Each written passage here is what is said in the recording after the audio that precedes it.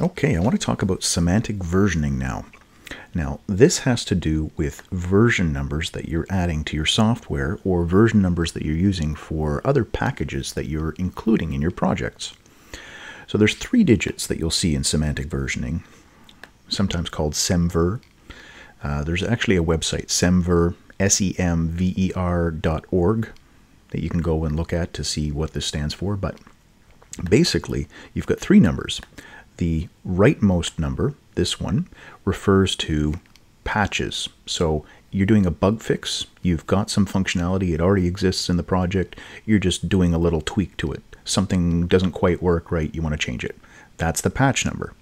The minor number is the middle one. The minor number has to do with you've added a new functionality, but it's backward compatible, meaning previous versions are not going to break. If somebody has code and they're using your library and you come up with a new version of it, you've incremented this minor version. If somebody then updates your package to your latest minor version, it's not going to break their code because you haven't changed the way things work. You've just added a new piece of functionality, and the new functionality is not going to break anything that already existed. And then the first number right here, the leftmost number, this is the major version. Major version has to do with big changes, new functionality, new features, things that have changed the way your code works internally. So if somebody installs this, there's a good chance that the code that they wrote using your library will no longer work because you have changed something. It could only be one little thing that you've changed, but if it's not backward compatible, that is a major version change. So in our package.json file, which you'll likely have defining your project if you're working on a web project, inside the package.json file, we've got dependencies, and then there's also dev dependencies. You may see a section in here called dev dependencies. And this will be an object as well, just like dependencies is. The difference between these two is that dev dependencies only apply while you're working on the code. They're not something that gets packaged with your project and sent off to the users. So if they're on the website, they're not going to get any of the packages here these are only for while you're working on the code. Dependencies are things that will get downloaded and used on your website or in your project by the end user. Okay, so let's talk about how we can change these and what these little symbols mean. So sometimes you'll see caret character, sometimes you'll see a tilde in front of this. So what do those mean? There's sometimes you'll see some other package uh, let's just say package, and inside of here, you'll see something like this, 1.x or 1.0.x. What, what does that mean? Well, I think the easiest way to explain this is to show you a fantastic web page that uh, is part of the NPM website. So semver.npmjs.com. I will put this in the uh, description for the video so you can link right to it. What you do is enter the name of a package, not that I would ever use jQuery in one of my projects now, but just it gives me lots of versions so I can explain this. So jQuery, you click on the button, it loads all the available versions of jQuery. Now, inside here, this is where we're going to put in the version number.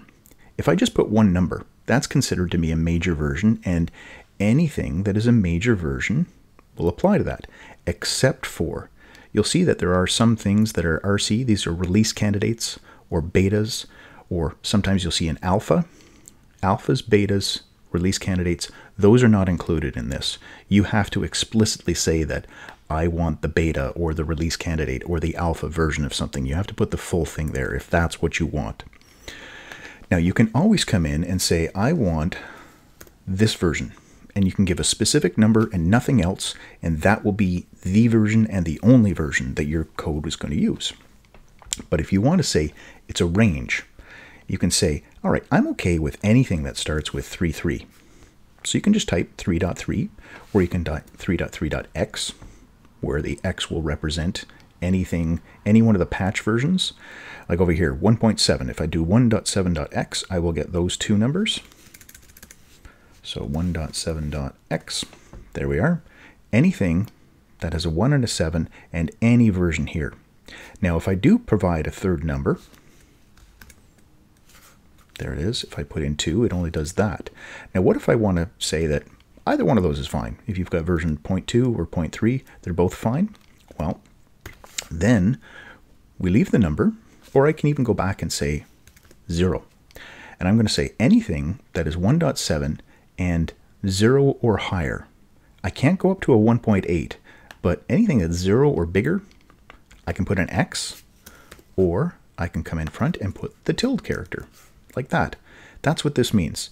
If you see the tilde character in front of this, it means the patch version. This number right here. It can be anything that is this number or higher. Let's look for one here where I've got, uh, okay, 2.1. We have a 2.11, 2.12, 2.13, 2.14. So let's come in here and say 2.1.2. So I'm not taking the 0.1, I'm saying 0.2 or higher. So the 2, 3, and 4 would all be accepted there.